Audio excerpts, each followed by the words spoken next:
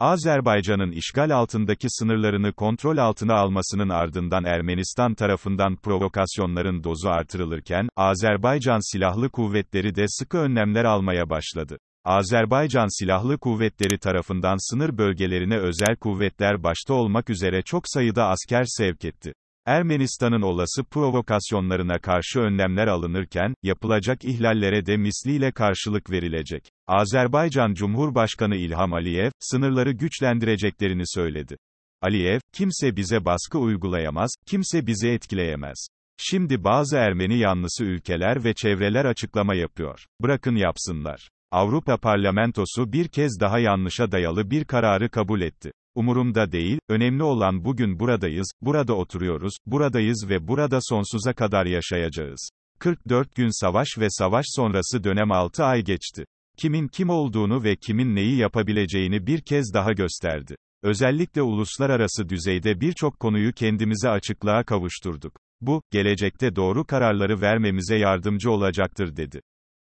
Siyaset bilimci Muhammed Asadullahzade, Ermenistan'ın Azerbaycan'ı kışkırtarak ABD, Fransa ve Rusya'nın desteğini almaya çalışarak Azerbaycan'ı da zor duruma sokmak istediğini söyledi.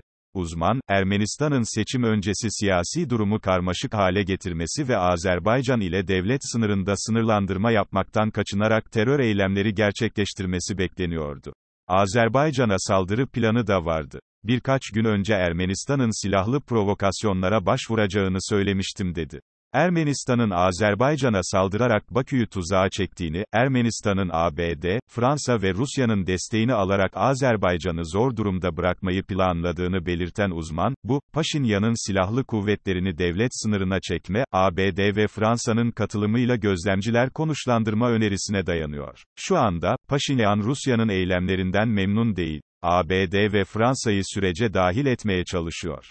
Azerbaycan, üçüncü güçlerin sınırlandırmaya katılımını kabul etmemeli ve sadece elde edilen haritalara göre hareket etmelidir. Ayrıca Rusya, Azerbaycan'ın Kolektif Güvenlik Antlaşması örgütüne katılması için Ermenistan sınırının tamamındaki durumu daha da kötüleştirmeye çalışacak. Azerbaycan üzerindeki bu baskı devam ediyor. Azerbaycan, Misk grubunun faaliyetlerine izin vermemeli ve Türkiye ile ortak faaliyetlerini genişleterek bir Türk askeri üssü kurmalıdır. Ermenistan ile savaş halinde olduğumuz söylenebilir. Rusya, mevcut durumdaki durumun devam etmesiyle ilgileniyor dedi.